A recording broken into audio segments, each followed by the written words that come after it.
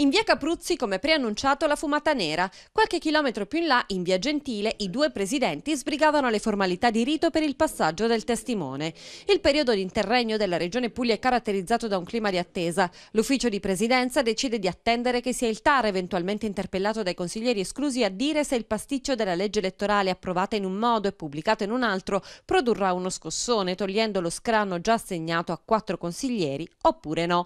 Intanto i presidenti, come i due papi, papi, scherzano loro stessi, si dividono tra riunioni private, durate un'oretta, prima da soli, poi con le parti sociali, tour nella regione per la presentazione a dipendenti e funzionari e conferenze stampa per la consegna dei primi 190 defibrillatori che nel Salento sono andati ai comuni di San Pietro Vernotico, Ostuni, Castellaneta, Lizzano, Nardò e Martano.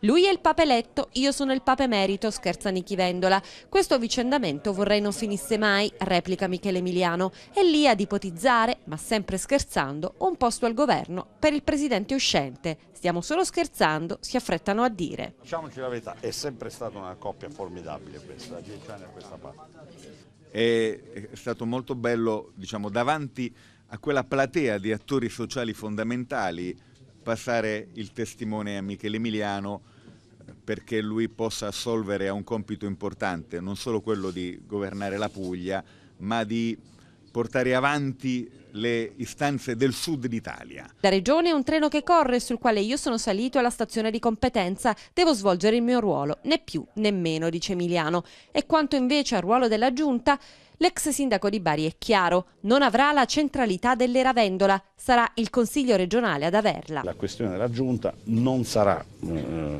così centrale come probabilmente è stata in passato e noi ci sforzeremo per eh, tenere unito il Consiglio all'esecutivo secondo la gerarchia prevista dallo Statuto che è inversa, cioè la sovranità popolare si esprime nel Consiglio, noi siamo semplicemente, parlo della Giunta, coloro che devono portare ad esecuzione le visioni e e le, le leggi approvate dal, dal, dal, Consiglio. Dunque nessun appetito, il messaggio criptato perché chi sarà nell'esecutivo non avrà più poteri di chi è in Consiglio e questo conferma quanto i ben informati sostengono, e cioè che la vera partita Emiliano la giocherà con i superdirigenti.